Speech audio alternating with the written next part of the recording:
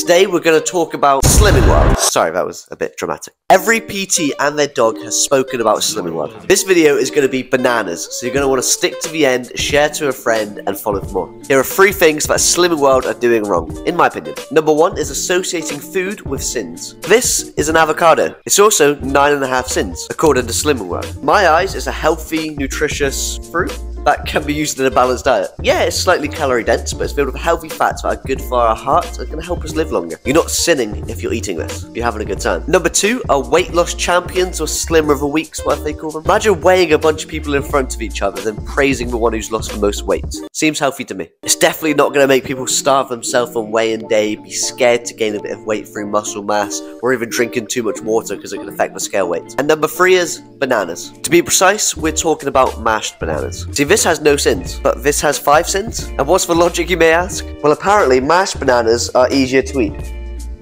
I don't know about you, but I'd rather eat whole bananas.